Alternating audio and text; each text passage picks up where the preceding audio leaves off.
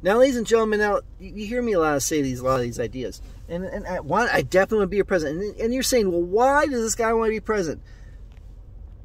It's like, why? I mean, with all the BS that goes on, it goes to be a president. That why do you want to be it? Because, and I'll tell you something, because I have nothing to lose.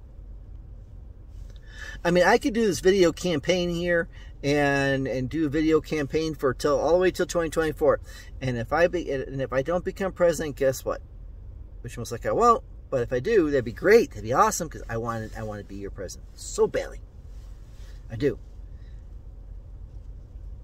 But if I don't, I have nothing to lose. I'll just go back. I'll just continue working what I'm doing. If I'm elected president, if I'm elected president in 2024, I have nothing to lose because I, I, I do what I, I do what I promise because I have nothing to lose. I am not bound by any particular other person's agenda, the only uh, any person's ideal. I'm uh, by only the ideal of America and you, the American people. I have nothing to lose. And then after president, then if if, you, if I am voted out because you know whatever forever case may be, maybe maybe that the liberal left actually gets a hold of the media and, and, and screws me like they did Donald Trump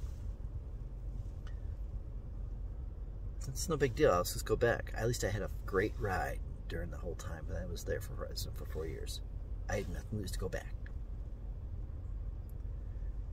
See, ladies and gentlemen, when you have nothing to lose, all you have to is uh, all you can do is all the way you can go is up.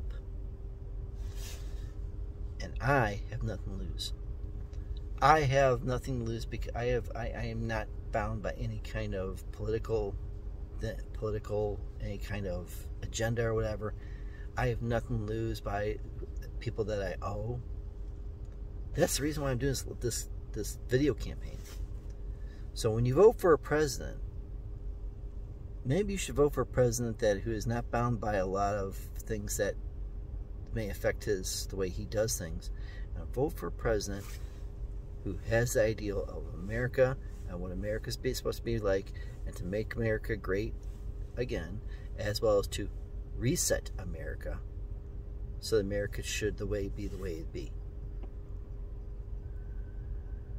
Because we have nothing to lose by doing that except for gaining back our country. This is American Rebel. Peace out.